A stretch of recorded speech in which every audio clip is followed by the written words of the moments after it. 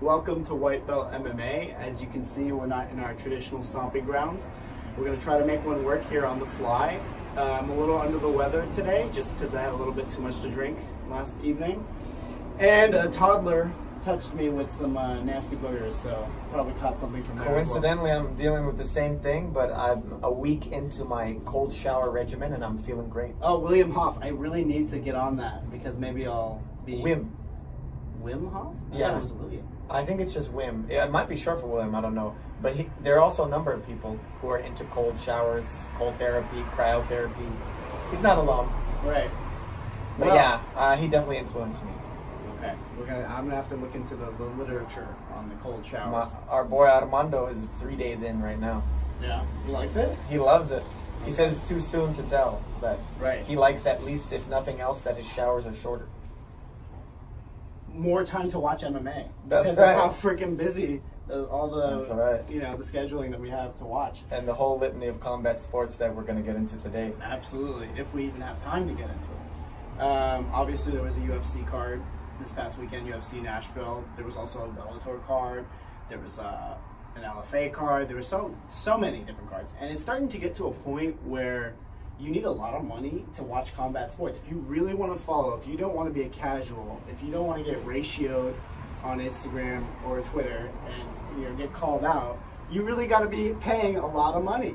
And I think that we're running into an issue now with Dazn or DAZN, sorry, um, jumping their price up to twenty dollars. It's it's going to be really tough, and you got to make some decisions, especially if you want to get the flow grappling and the flow wrestling. I don't know how you feel about it all. It's They're really they're doubling the price, which is you know years ago when Netflix did this, I left Netflix. The only reason I still use it is because my mom has an account. You know they were they were trying to give you the same product for double the price. Now, arguably, DAZN is not giving the same product. At the time, Netflix was, but now Netflix has expanded their library. DAZN is not only expanding their their library with commentators like Robin Black doing a whole ton of stuff, and I, and I love his stuff. That's on the free content as well, like on YouTube and his Twitter and Instagram. He's I'm fun. liking and commenting he's on fun. almost everything. yeah, it's fun. Eh, But they've also signed big name boxers as well. Canelo, GGG. Yeah, that's right. Triple G. all- So all is it the those same content if they're giving you all these big names? Like are they're adding to the content, obviously, but it's all about value, right? Well, the way is the thing to be considered is that the way that they hooked all these big names in the first place is by paying ridiculous amounts of money to these people. Right. Triple G is not making less than 10 mil on any of his fights. Yeah. I know boxers typically make more than MMA people, but that's a lot of It's, guaranteed it's income. definitely a little bit more than the usual, for sure. E ESPN recently re-upped their deal, has a seven-year contract now instead of a five-year contract. All pay-per-views for UFC events have to go through them. We've seen all these in- in-depth interviews heading into the main event of the Nashville card. I was watching interviews they had with Pettis, interview they It's had great with content. Boy. It's great content. phenomenal. And it's five dollars a month for just six, a normal package. sure. Six Yeah. dollars, you know.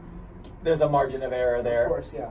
in any event, we also still have UFC Fight Library, which is nine ninety nine or Oh, 10 Fight Pass. bucks. Yeah, that's right. So Fight Pass still Although has Fight Pass left gives you way. a ton of content, though. Like smaller Yeah. promotion stuff. You Do you think? Yeah, it has the the Lethwei. It has the Titan FC. It has the fights. Yeah, Yeah. It has CJJ. a ton of stuff. uh, the historic UFCs. Yep, yep. I originally, when I first was getting back into MMA, because you know years ago, back in 09 and stuff, I was into it, but I was more of a casual.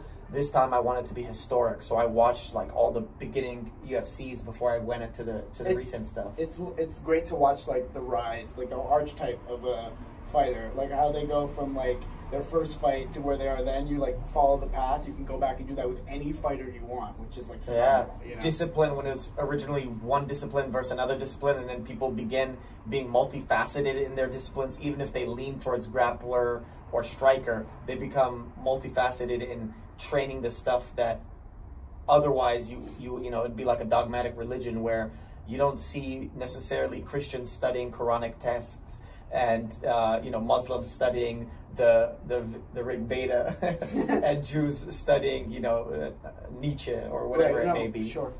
So it, it's nice to see the jujitsu people studying, wrestling, the wrestlers studying, the Muay Thai, the Muay Thai people focusing on traditional martial arts and boxing and all of that. But between Fight Library and the ESPN app and the Zone and Flow, Do you have any favorites, or are there some things you like in one app that you wish another app would adopt, or anything like that? well, that? you almost have to get the the ESPN Plus and Fight Pass just because, for me, you always want to watch the best talent. And I think there's a reason why NBA is more popular than NCAA basketball, than Correct. European basketball. You want to watch the best guys because a lot of these guys are great in other promotions, and then they come to UFC and they're not great. And that, that could be a litany of reasons. It might not be the talent. It might not be like the actual fight that they get, you know, booked into.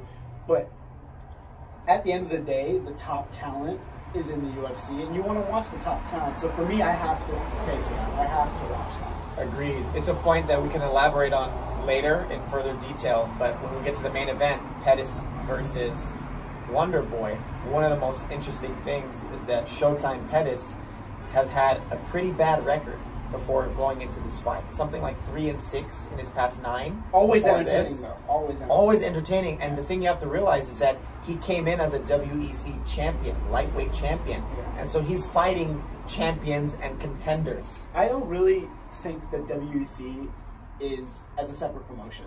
I know that like it, they're just like it, it's practically the UFC because the UFC just absorbed, took all their champions, you know, and just like gave them Yeah. the title. Like Jose Aldo was gifted the UFC title. He was the Yeah. WEC featherweight champion. He didn't like fight for the UFC title. They were just like, you're a WEC champ.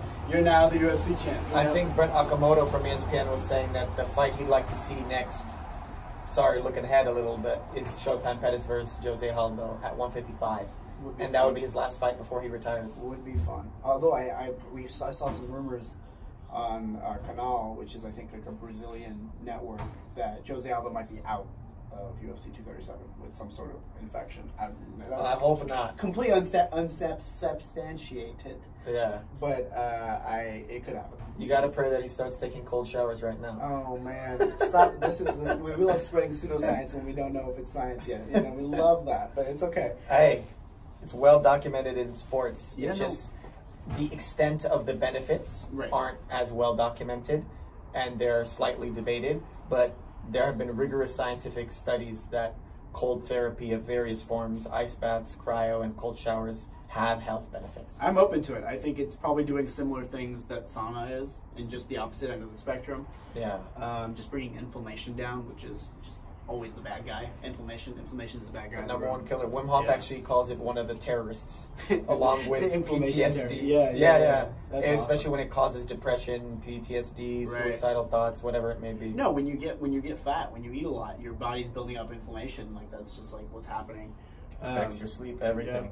But so I think starting with UFC, But, but back to I wanted to just briefly touch the thing that we were talking about earlier with the prices of stuff. Oh, okay, okay, yeah. And I know that ESPN can keep it relatively low, and that's just because they can take the losses early before they have those subscribers, before they reach a point where it's profitable. I'm sure it's profitable now, but they can take those losses because they're such an established brand.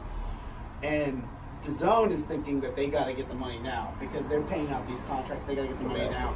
They're backed. I think it might be um, Vivendi or something. I think it's Len Blavatnik, the Russian billionaire. So they have money. They have big money. Yeah, they have big money behind them. But their philosophy might be to be making money right away, whereas not taking losses. So I see the why the price is getting raised. I'm not happy about it, but I Yeah. see the why. And I just don't know if I'm going to continue being a design. I'm going to have to, in some way, watch the fights, but I don't know if I'm going to be a paying subscriber. uh, wink, wink. Yes, yeah. no, we're, we're paying. Um, but yeah, I did watch the, that Bellator card this past weekend. Some How was it? It was low key. It was almost like I forgot that it was happening. Like I didn't, like I had to, like the day of, I was like, oh shit, there's a Bellator card tonight. I had to adjust my plans to fit it in. Um, it was Georgi Karakhanyan. I think I'm saying that right. Um, and he, he trains out of uh, out of the garage. At OC. OC. Yeah, at OC with TJ Dillashaw. Cub Swanson. all those guys. Aaron Um, Pico. Archuleta, the, the Spaniard.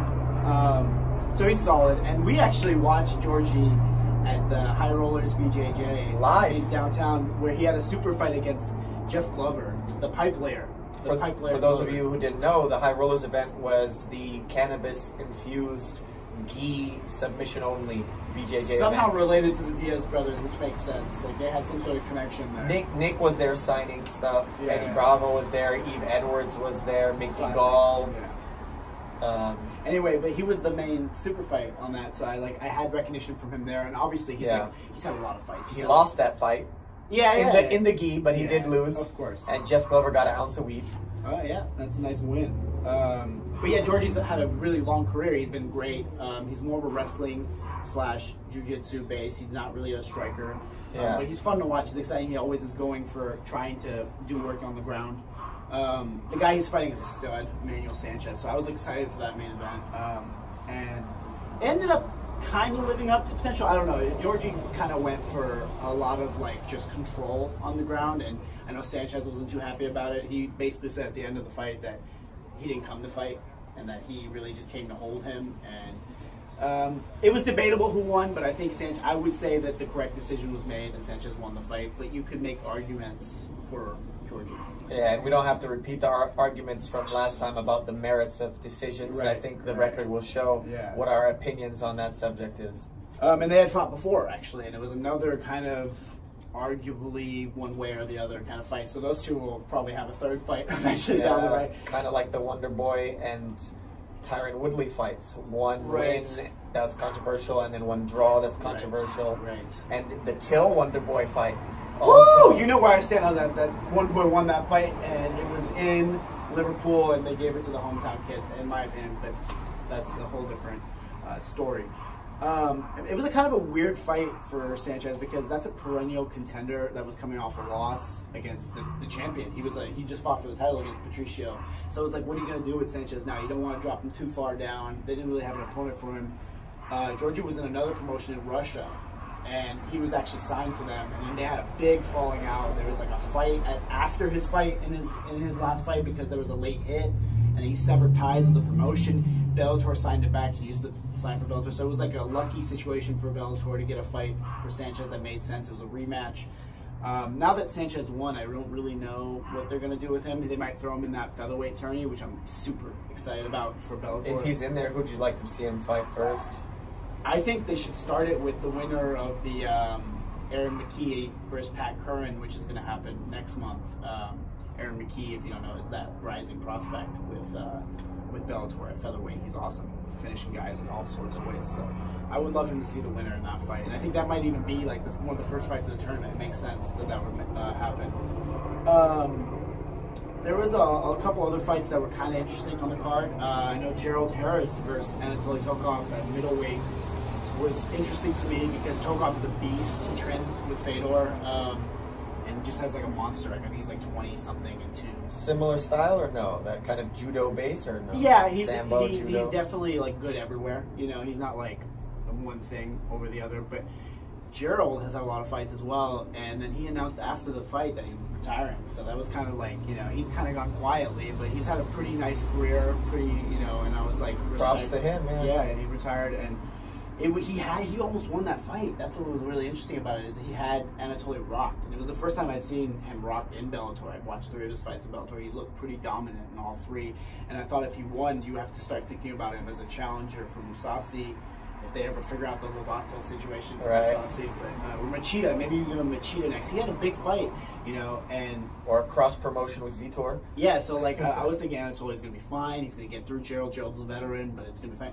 But he hurt him, and then I don't know why he did this, but he had hurt Anatoly, and then like instead of standing and trying to finish him, he like went to clinch and bring him down. And that, there's always that argument where if you have a guy hurt, just like try to finish the fight. I don't know if he tried, from a yeah, from a distance striking. but like I don't know if he did try to do that. And Anatoly was the one that caused that to happen. I couldn't really see exactly what was happening, but it was kind of a strange move for me, and he ended up paying for it because Anatoly got the. You know, it, go, it goes to the point that I think has been made most prominently by Dana Hare, but a lot of people have made. It's that you can problem solve always, right? Chess is an analogy used for jujitsu and fighting writ large. Sometimes people, Tyron Woodley on the ESPN cast was talking about two strikers in that way. As chess is used as an analogy a lot in fighting, but where it doesn't fit, where the analogy breaks down, is that in chess you take turns, you wait for each other. In fighting, it's live, it's real time.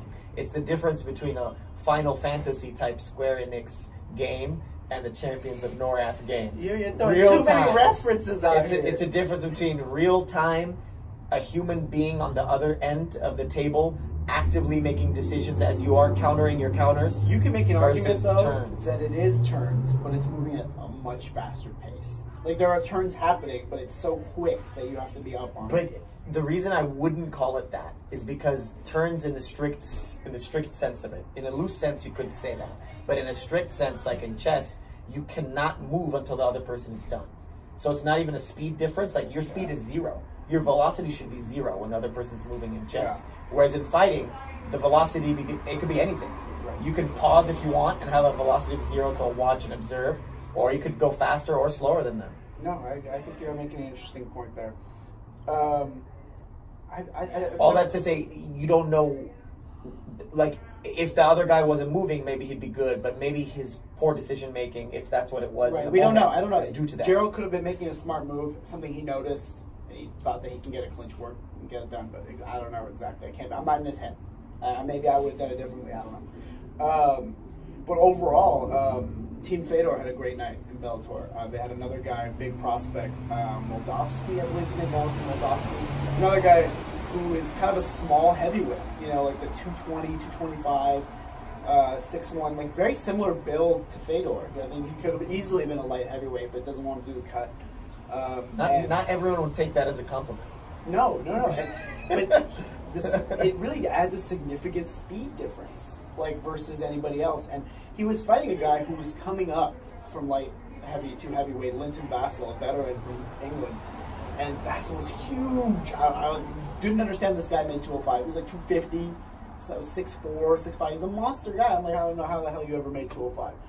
And he said he's done with 205. He's gonna stay at heavyweight. He really liked not. jon jones similar height makes 205 they say even easier now some people say Yeah, but I don't without think, peds I don't think easier. Jon Jones is even close to 250. Maybe 235, but 250 is like on, on this card it, on the ufc card sorry jumping ahead Yeah. we had violent bob ross who Oh man, I forgot all about that. Yeah, let's. Yeah. We can just transition now if you want. I was like We much. can't. I just the quick point I wanted to make. I wasn't super impressed by that fight, but the quick point I wanted to make was that he's six foot three, already looking skinny, or At some say 155. He was emaciated skinny at at 155, 155, and he cut for 145, and he missed it by a lot. I mean, by a lot. Like usually they miss by like a half pound, but like Yeah, two two pounds, pounds. is like you know. Three. Well, 146 is the limit. 146 is a maximum you're not supposed to be, but oh. the the the weight class is called I 145. know, I know, but I'm just saying how how it would be considered.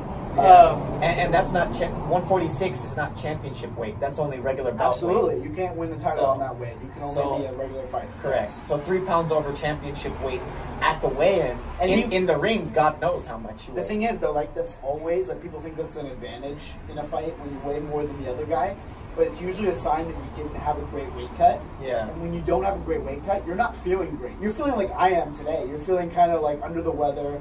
You're feeling like your body is like out of whack, and then you got to go into a fight. So Yeah. it's like it's a struggle to figure out. Obviously, he got down and it was difficult, but.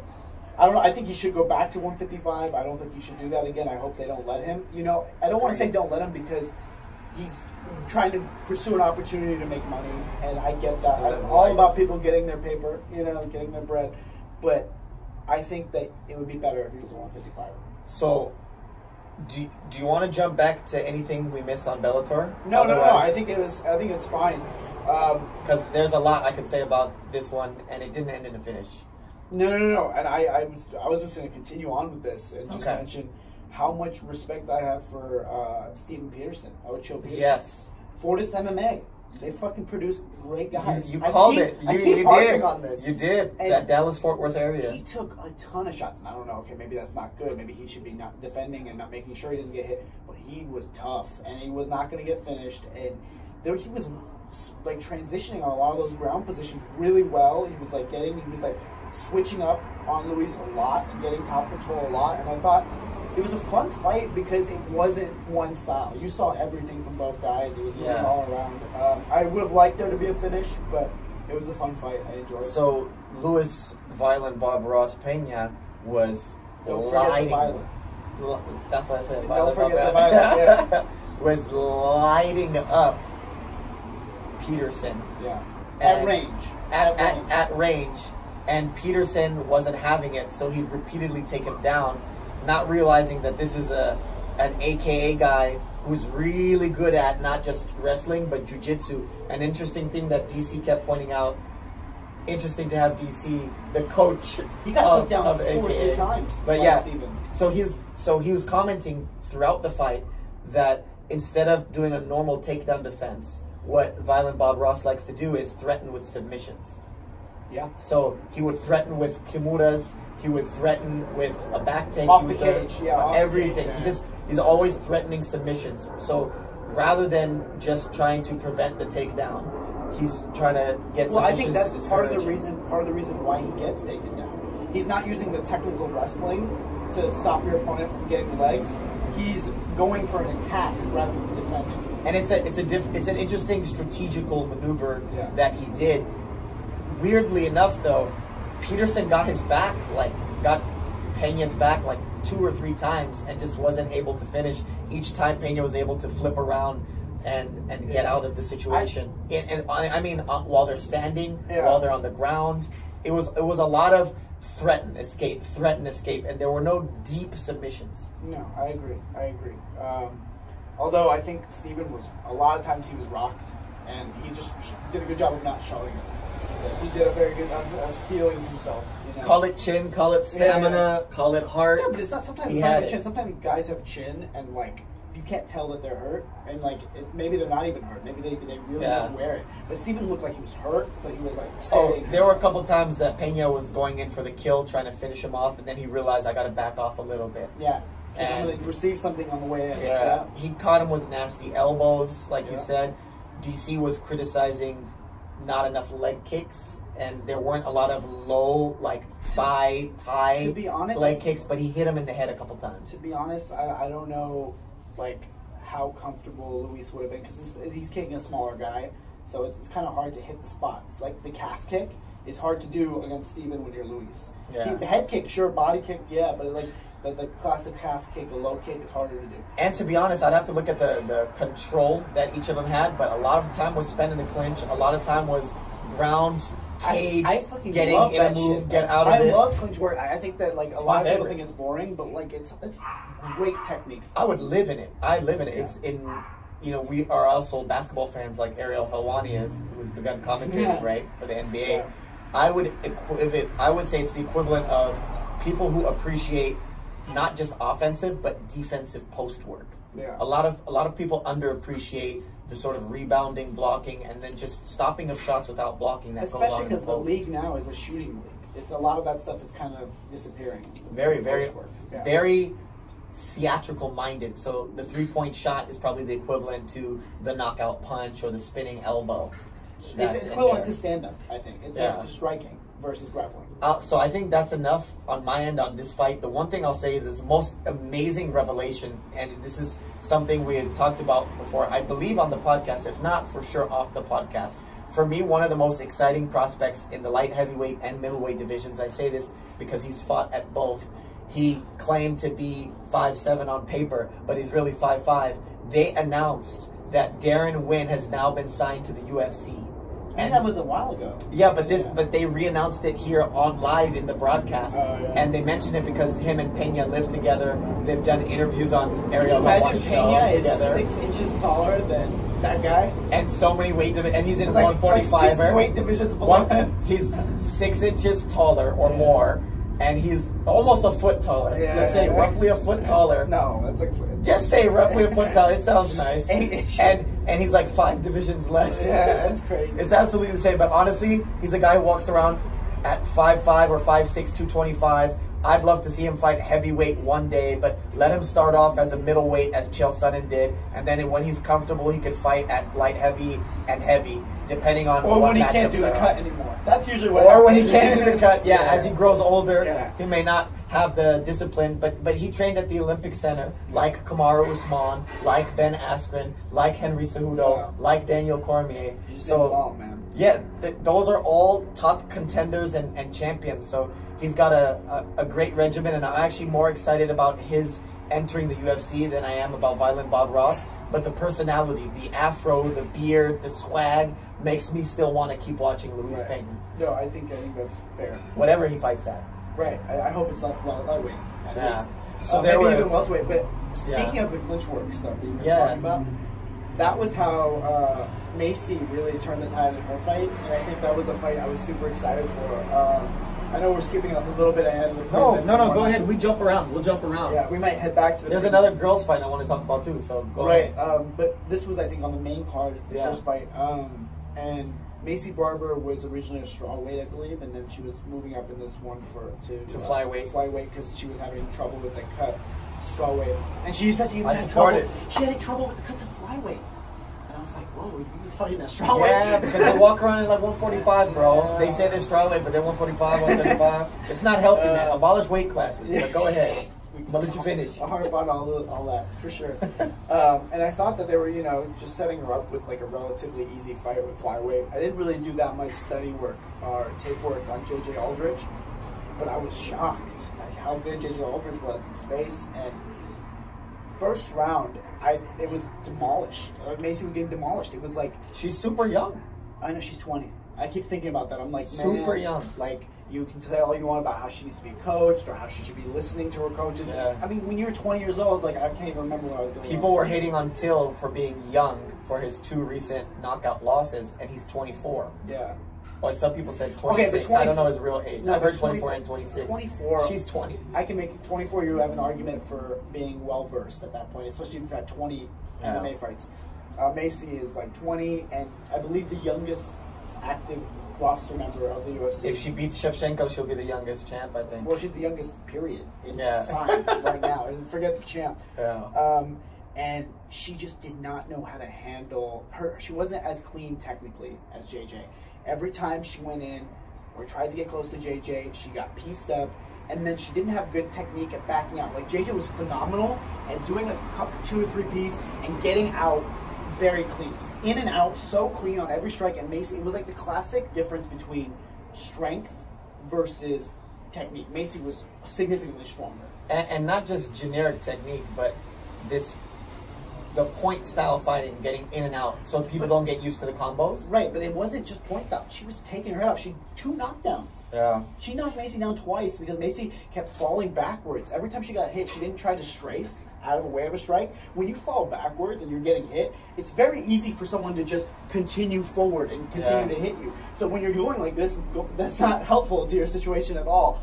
So Maycee was having problems. I was like, oh my gosh, she's going to probably lose in this next round, and it's over.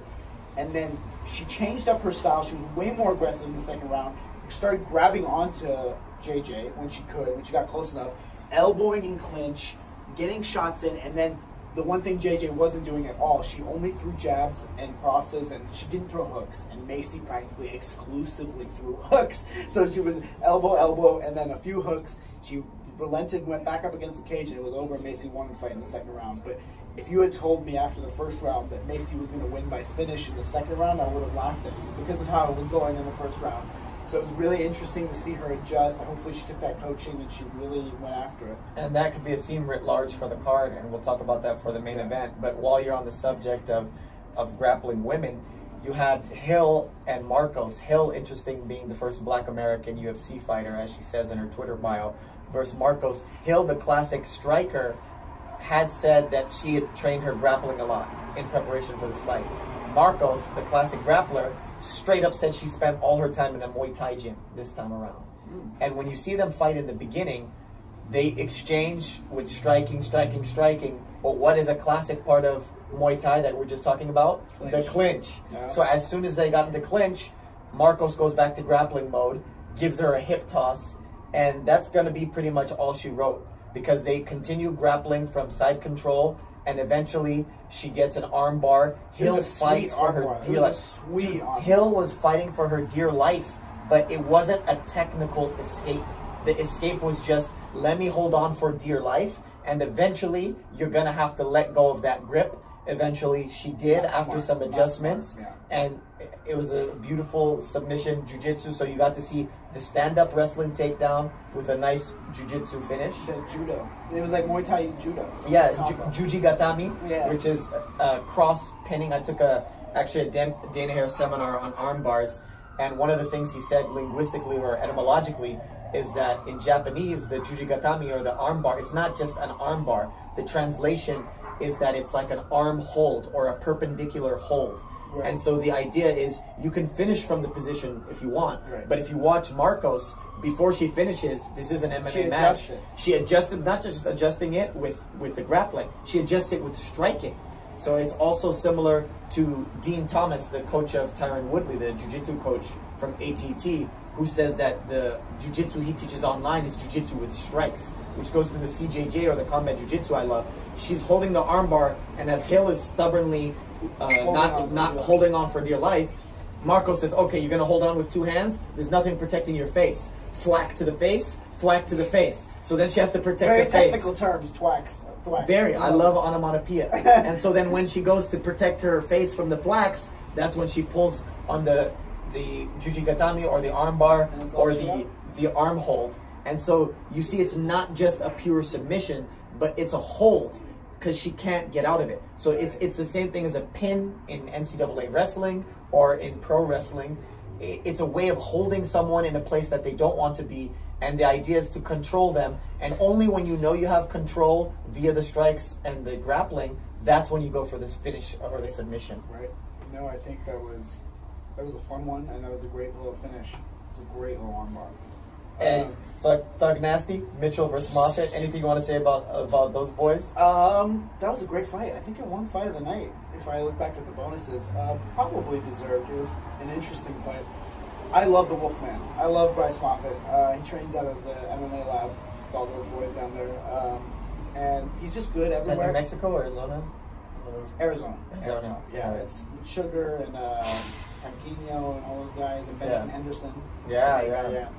One, Um, one of the people Pettis beat early on. Right, right. Off Twice. The, off the cage, Yeah, kick in the face. He In got him twice. WEC slash UFC. Yeah.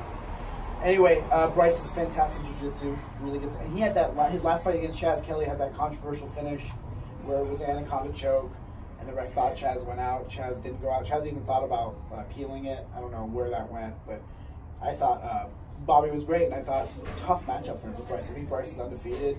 Both good everywhere, both good jiu-jitsu. I was like really interested to see how where it would go.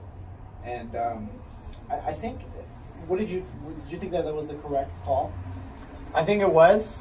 And for me, the most impressive thing was that there was a very tight Darce that Moffett had early on. He loves Darcy's and against, uh, Bryce loves- that's like his move. In fact, in the post, uh, in like the post post fight interview, Mhm. Mitchell was talking with the the crew upstairs, and he was saying that he was training all camp, waiting for the Darce, and he said this guy's not going to Darce me, and then he found himself in the Darce. Well, that's then, smart that he was training for the darce because that's what Bryce goes to every time. Hundred percent. Just like RDA was training with Edwin Najmi that we talked about in Right. preparation of the Tony For Ferguson Tony, yeah. fight. So he's training his whole camp, waiting for the darce. He thought it wasn't going to come because he thought it would be too obvious. Sometimes the most obvious thing is what's going to happen. Yeah. He gets in there. He said he thought about tapping multiple times, but thinking about his mom, who doesn't even watch him fight, who doesn't support him fighting, but the way that she raised him in Arkansas, which was a big theme in his post-fight interview, the first one, he said that helped him through and he fought through he found a way out and then continued and he didn't just survive right? Right. this wasn't like last time when we were talking about leon edwards holding on for dear life or hill holding on for dear life. This was an, a man actively trying to win after almost being finished and and it really makes you lightheaded when you get in a darce Of course. it, it makes you if you don't know, you should go to choke. a jiu-jitsu class and see how you feel after getting darce. let someone darce you yeah, and see how you feel. yeah, and then imagine trying to come back. So thinking about the willpower and the technique that it, that Usually, it takes to come if back, it's pretty tight, I respect that. Usually, if it's pretty tight, and I'm in a guillotine, anaconda, darce of some kind, and I'm in it for a long period of time, I usually have a hard time getting my bearings afterward, like having to sit down, needing a glass of water, Yeah. let alone thinking about having to fight. you know, it's a different thing. It takes a lot of heart, and I'm going to give you another great reference. I, I grew up listening to a lot of different underground hip hop, as you know, and the fans will get to know over the time of this podcast. So, if y'all know XV, he's a rapper out of Wichita, Kansas. And one of the big things that he imprinted in me was that even though I'm from LA and I grew up in LA, he's from Wichita, Kansas. Everyone said he had to leave Wichita if he wanted to make it big. Yeah. He made it big, and he XV's still out there. XV's still out there making Making music it big is is is he's making a living for himself. He's Right, not no, he's not Drake, Right. but he's Right. he's living on his own terms Agreed. and he's supporting his family and he didn't have to leave Wichita. that's great. Bryce made the same point. He said he trained down with Jocko Willink and Dean Lister and Victory MMA in San Diego. Wow. He went all over to many different camps, but everyone kept trying to recruit him and said, You're not going to make it in MMA unless you leave. But every time he goes back to his home camp in Arkansas, and we've seen that, as you said, he's been an undefeated fighter. He's come back from crazy, crazy Right. dar strokes and, and other fights that seem. Is uh, he the guy that had a very impressive. the, the nut accident? He is. He had the power tool accident, and they had memes of him with a coon hat. Ooh. That's not a racial slur for blacks, but a raccoon hat and a power tool Oh, after his victory. man. So they were hilarious memes. Okay. So to come back from that is another great thing. He said going forward, he wants to take a lot of time off and train and heal. And so he's not going to rush back into his next fight. So I'd say he's a great prospect to look out for. Yeah, it's fantastic. I think that actually that fight was a lot closer than people think up until the third round. I think the third round is really when Bryce kind of pulled it away, and I think that you could have made some arguments for Moffett, but it's probably fair at the end of the day. Yeah, especially by threatening a submission. Yeah, no, of course he had him in trouble, and you have to really factor that in. Yeah. Um, But which makes his escape that much greater. sure. Because the greater the trouble, the greater the escape is. Whatever value you attribute to it, the escape is that much greater. And the ability to fight on. Going to relating it to boxing, it's like, yeah, Deontay Wilder knocks down Tyson Fury twice, but Tyson Fury gets up and wins the round. And that's what's impressive. Sure. Although, uh, I don't want to get too into that, but there's the whole things about whether the time was up before he got up. Yeah, Yeah. you know, the simplest thing about that is that it's not, there's no objective rule. And we've talked about, you know, when we refer to the, the whole MMA or combat sports industrial complex of experts as quacks, one of the issues is the uniformity is not going to be there because it's going to be contextual. And, and there's always this debate in every field, not just combat sports, but in every field about the value of as you grow as an organization between standardization and then having case by case. In religious settings, it's the great value or idea, or even in, in political debates, of justice versus mercy. And in this context, that referee is the one who has the discretion about the count, and the way he was counting it out is what goes, not what people do with their timers outside of it. You could then maybe cens- censure him. Could you make an argument for automation at a certain point? You you can have the robots replace us, and maybe they're better, but maybe no, there's I'm, a just, human I'm playing element. devil's advocate here. I'm not really Yeah, the devil Yeah. definitely needs a lawyer, but you know what? I think there's always going to be a human component, whether it's creativity, whether you, you know, make up a platonic idea of the soul, whatever it is. I think there's always going to be something missing with AI, but I'm definitely open to the idea. Sure. I'm not a Luddite, so I do believe that we use technology, and if we use it right, it can help us and- benefit us. Absolutely. The let's go to the co-main event and the main event. I think so. I think that's a good move. Um, Blaydes versus Justin Big Pretty Willis.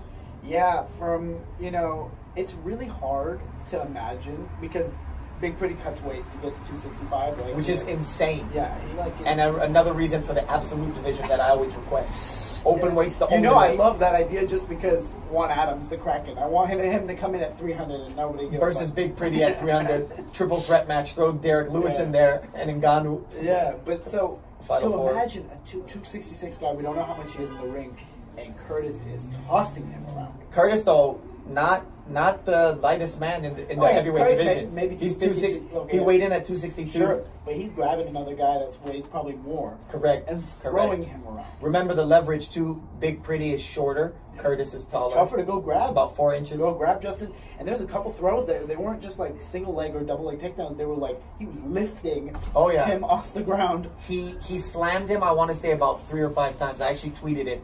So if you look through UFC Nashville hashtag, you'll probably see my tweets live during the event. Yeah. But I think it was about three to five slams. Two of them were soft. Yeah. Interesting enough, he he broke the UFC heavyweight record for takedowns in that match, Right. which was previously held by another great wrestler in that division, Cain Velasquez. Wow. I, didn't, I, didn't, I don't think I caught that stat. Yeah, it's an Uh, amazing stat, but but some of them were forceful, some of them were light. Right. All of them were controlling. I love to see Curtis versus Cain. Next, if Cain fights again. You read my mind. You read my mind. Yeah. Maybe I I I, I uh, prompted you with yeah, that no, I, stat. I was like, I was thinking, trying to figure out like who would he fight next. So he like, called out JDS, Derrick Lewis, and Stipe. Stipe would be his his favorite because that would give him a title contention if he wins that after. I think, yeah, sure. I don't know if Stipe will take any fight but the title right now. It's true. Uh, and I think JDS, the only fights that really make sense for JDS are either uh, a title fight at some point against Cormier or or um, running it against Ngannou for number one contender. And then you could maybe even do uh, JDS Stipe 3 because Yeah. they had two fights already and they both went in opposite directions. So you can make those three cases for him. You can make any of the fights. I would like to see that the the Blaydes versus Stipe, just because Stipe has been the the least active of all the people we we named. Because he's offended at the situation, obviously. And Derrick Lewis pulled out of the fight they were supposed to have in January. But yeah, simply in, in conclusion, the co-main event were three rounds of utter domination. Right. Big Pretty trains Do at you think Curtis should have wrestling. tried to finish more? You know what he did, and he talked about that again with uh, Tyron Woodley, and um, I'm forgetting her name, but the other host in the post post fight interview. He said that there was one moment in the third round where he was going to let Big Pretty up so that he could try to finish him from striking more, and then he realized that it was too risky, so he continued his strategy of double leg, single leg, stand up clinch. I can see that because of what happened to him with Ngannou. I can see that. Khabib style, Yeah. wrist control, Right. pound, pound, Legs, uh, pound. yeah. I would answer your question by saying I think he could have tried to finish more, but the way he would have tried to finish more that would have been safer and and this belies my, my bias as well, but it's my bias because it's effective. Submission grappling. Right. He had he had him in several times with one or two hooks in and wrist control, and he chose to ground and pound, which got him points and gave damage to Willis, Versus and going for also a rear embarrassed naked or versus going for the lion killer or the rear naked, or going for an armbar, or I mean, you could go anything. Darce, headlock. Yeah. There's so many submission grappling moves that are available to you. You you can you can do uh, what's the Eddie Bravo move? It's like the the the crotch ripper where you have the leg split. A banana split. Yeah, the banana split. He could he could have done that move too. I think I think that you know it goes back to what you're saying about him being safe, and I think that's really what it, he was nervous about another Ngannou situation where he felt like he got screwed, and it was like a second. And I don't even think Willis has the power of an Ngannou, but just to take that option off the table, and especially there were moments where Willis was talking about Curtis Blaydes' mom. Like it, it reminds you of some of the shit talking gone wrong. It reminds you of people getting strikers getting manhandled by a wrestler. But what makes this worse is Willis ahead of time was saying that his wrestling was better. And he's hanging around with Deron Winn. He's hanging around with DC. See, so you almost want to make believe this him. point. I was going to make this point when you were talking about Pena being at AKA. Just because you're at a gym that specializes in one thing doesn't immediately make you good at that. Agreed. Agreed. It, but if you're talking shit that you are good Yeah, about it, then you better back that shit up. But in this event, actually, in Ademic fashion, Curtis Blaydes renamed Big Pretty Big Titty. Oh wow, And that's he was, he was, talk, he was talking mad shit. Uh, but he saved his shit talking till the end after he showed it with his work. Right. And I appreciate that. Sure. And you know what's funny It's like the complete opposite was the main event. You know, it was like completely it was like a finish. All respect. Yeah. Before and after. Yeah. Yeah. It was completely different. No, no shit talking beforehand. Not even the little bit that you saw with Woodley versus Usman. They just have respect. I think Pettis All respect. Yeah. These are two traditional martial artists, mm-hmm. Taekwondo and Karate. Robin Black made the point that there's very little distinction between them. I'll make the distinction as a man who studied Taekwondo for five and a half years and as a Oh, I think the distinction is that Pettis. Pettis will choose to engage more than Thompson does. Thompson is a much safer fighter, where Pettis. Oh no, no, I just meant generically in the arts, not even them as individuals. Oh, oh, okay. uh, Black was saying that they're the same thing. Karate is a little bit more punch oriented. Yeah. Both do punches and kicks. Taekwondo is almost zero punches. I Are remember. speaking from your experience in Taekwondo? Yes, I remember fighting in a Taekwondo tournament, and I, I landed about twenty punches on somebody, and it was zero points. Right. It, it psychologically damaged them, and I won the fight later with kicks. But they gave me zero points, Right, and no. my coach was yelling at me like, "Stop, Stop punching!" him. and, and I was like, "No, no, no. There's psychological damage. You know, you you grow up seeing Mike Tyson say he'll eat your children. You know that psychological warfare is a part of fighting." Jocko Willink talks about it a lot as well. In fact, he has a psychological warfare field manual. Yeah. But in, in any event, this fight was absolutely amazing. Both of them have the traditional martial arts Who would you say won the first round? karate. I know that the, the fight finished in the second, but who did you say won the first round? Well, it, it finished at 4:55 in the second round. That's five seconds left. Right. Almost as amazing as the Yair finish of the Korean Zombie, which finished in like the last half second. I would say Thompson was winning both rounds, Really? and I all up to the last point, Thompson is winning both rounds. And so this like is exactly like. Zombie versus uh, Yair. Yeah, but even more so. Wow, I thought Zombie Even was more really so. dominating Yair, man. even more. And I watched Yeah. that fight too. Yeah. And the reason I say that is because they had totally different strategies. Right. Like you said, Thompson likes to be evasive. The Wonder Boy, He's hard to figure out. He's hard to figure out. he's very hard to figure. He has his hands down. He has a sideways sideways stance. yeah. He uses the underutilized side kick, and actually that side kick was his demise. I'm gonna give you another superhero reference because there was a Superman Oh, punch used on a Wonder Boy. everyone in the DC universe Right. argues about Batman versus Superman.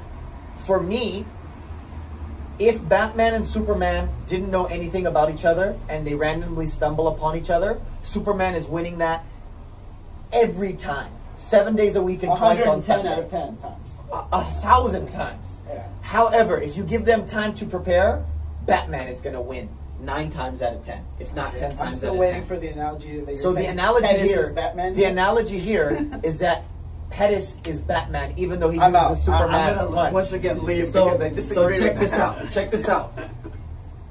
Wonder Boy has already lost to this camp twice Yeah. with Tyron Woodley. If Ben Askren, who was coaching him, who's also in this division, I also commented this on Twitter, but now Duke Roufus has potentially three people in the top ten in welterweight in the UFC. See, I didn't, Phenomenal. I didn't want to get into that, but um, what I was I was going to ask this later is, what do you see? Who do you see them fighting next? I'll, I'll get to that, but let me Yeah. finish the analogy to make sure that it hits. Okay. So, because Duke Roufus as a coach has had all this time to prepare, and even though Ben Askren was involved with the NCAA wrestling, you know he was talking to Pettis. Right. And even though Tyron Woodley is commenting, and he even commented with uh, with Wonder Boy next to him, which shows the respect that they could have even after the wars and controversial wars they've had. Right. You know he talked to Pettis. All the preparation that Pettis has had and the losses, the kind of shaky record he's been coming off of, Pettis is Batman because he's had all of this time to prepare and game plan. And even with that game plan, you don't have a guarantee. So his game plan going into it is use the traditional taekwondo he has. There's a moment in the first round where he does this flying wheel kick, mm-hmm. and Wonder Boy dodges it, and he falls on his ass. And after, instead of trying to like jump on him and ground and pound, he lets him get up, and they dap each other, and he gives him respect for the attempt. That's almost too much And respect. respect. That's too much. Well, it's like the Anderson Yeah. Silva versus Israel fight that, that, was happened the- recently. That was anno- part, partially annoying as well. Yeah. yeah. But interesting about both of those fights is that even though it's MMA rule set, no one had even one attempt of a takedown. Yeah. Not even a single attempt of takedown. I thought Anthony Pettis might because I honestly thought Wonder Boy is a better striker and he's bigger. Yeah. But the interesting thing is Wonder Boy was winning on punches. He starts from, like we said, hands down, and he, he's just way faster than Pettis. And he was landing way more than punches. He was landing more kicks, but Wonder Boy's kicks were to the head, to the body, to the legs, and Pettis's were almost exclusively to the legs, which you could say is tiring him out or making him at least rethink the strategy of doing any leg kicks to Pettis. So Wonder Boy's winning for two rounds, and at 4:55, this is a point that people were missing in the Twitter sphere. People originally thought that Pettis jumped off the cage. One, because he became Showtime Pettis when he did. to Ben think he Henderson. Well, he did, but not with his feet. He did what I call a booty bump maneuver. So Wonder Boy comes in, and I'll demonstrate this for the YouTube audience. I don't think they here can while see sitting how, down. how much light we lost. but. But they'll see. Yeah. Wonder Boy comes in with that underutilized sidekick that everyone does. And instead, uh, there are many ways you could respond to this. it. Yeah, I know. I saw it. Many ways you could respond. You could go into it. In physics, they would say if you go into it, you get a rid of the acceleration Yeah. and the velocity, right? Or you could try to dodge it left or right, or you could try to dodge it back. Pettis does none of those things. He absorbs the full force of the sidekick and lets it take its natural momentum, throws him into the cage. From the cage, he uses his booty and his, his lower back strength, so like whatever squatting or endurance exercises he does, his lower body and back strength This is very scientific. to bounce off of the cage. And from there, he does the Superman punch everyone says, Mm-hmm. and he changes it up by doing a slight, a very slight, not a, a, a not like an was a little bit of obtuse hook. hook. It was a Yeah, not an hook. obtuse hook, not a clean hook, but a, a hybrid hook and back right hand punch.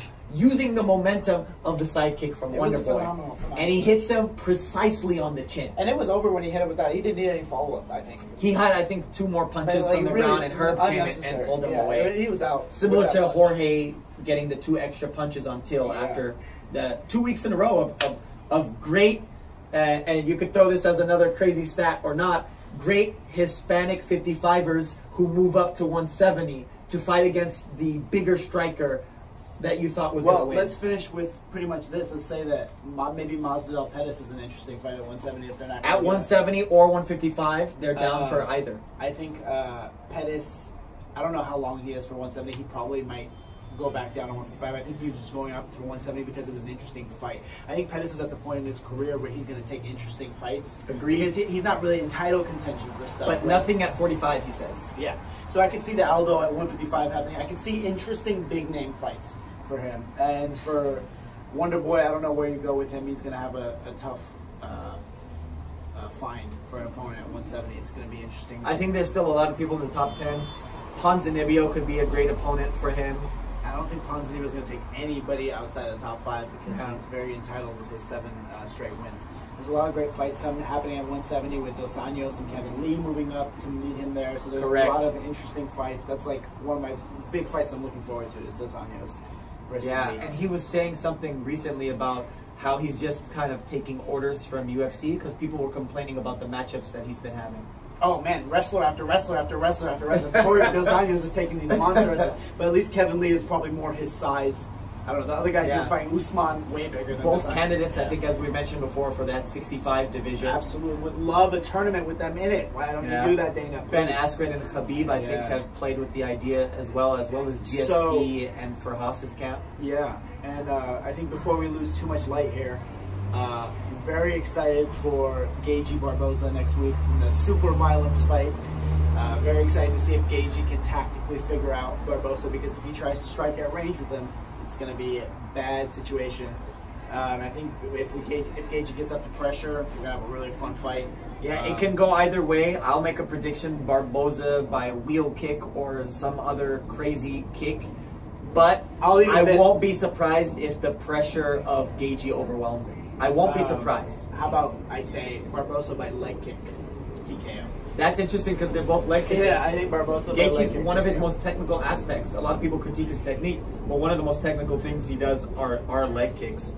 Um, hopefully, we'll get around to also covering probably my, one of my favorite events of the year so far, one championship with the debut of Eddie Alvarez and the debut of Demetrious Johnson. Both of them are fighting two low key killers. Go look up those guys, Timofey and uh, I think I know his nickname, the little piranha, the Japanese star that uh, Demetrious is fighting is going to be a monster. And there's like three other title fights. Gary Tonon's also on that Oh yeah, but Gary Tonon's a prelim. They got uh, Aung La, the middleweight champion. They got, or like I don't know how the middleweight. But he's one of the most interesting prospects for me, Of so course. I just had to call no, him out. Gary Tonon's fight is gonna be huge. They have like three title fights happening. It's a monster event. Yeah, he's one- fighting a Muay Thai killer. and I think it might even be on uh, TNT or Bleacher Report BR Live. So really awesome to check that one out. And tons of great uh, Muay Thai fights and kickboxing fights happening on that card, as well as obviously KG Barboza and that event happening. There I still have to catch up on the NCAA wrestling championships that just Yeah. happened. We'll probably have some stuff for you guys for that. In the midst of it, there was a quick beef that we could mention between Bo Nickal and Ben Askren. Bo Oh, Nickal man. called Ben Askren out, and the head of Flow said he'll pay for them to have a wrestling match. That's some Hodge level wrestling. I'd love to see it. I don't know if uh, It'd be great. I hope it's folk style or freestyle. I don't know. But, but Ben has said, because Dillon Danis tried to call him out for a jiu-jitsu match, he said he's not focusing on grappling right now. He's focusing just on. MMA. But As he maybe should. after he retires, he'd be open to these types of matches. Maybe a CJJ, maybe a jiu-jitsu match Right. with Dennis, maybe a folk or a freestyling with um, just an exhibition of some kind. Yeah. would be fun. Um, but for now, I think that's great. Yeah, the one last thing I wanted to say, just because we're always throwing it in, I know I probably said the word Lethwei a million times. It's because I want to see a Lethwei MMA promotion, and I do believe Rogan and Bravo are going to make it one day. I have faith, I have hope. But I saw We're a gonna speak it to existence for real, for real. I saw a great KO this week just on highlights. They were clinch fighting. We talked a lot about the clinch today, and throughout the clinch, there were punches and elbows and everything thrown. But the one fighter head butted the other in the chin. We love that. Legalize it. Legalize And he knocked it. him out, bro. Yeah. He knocked him Legalize out. it. Precision headbutting. Yep. See you next week.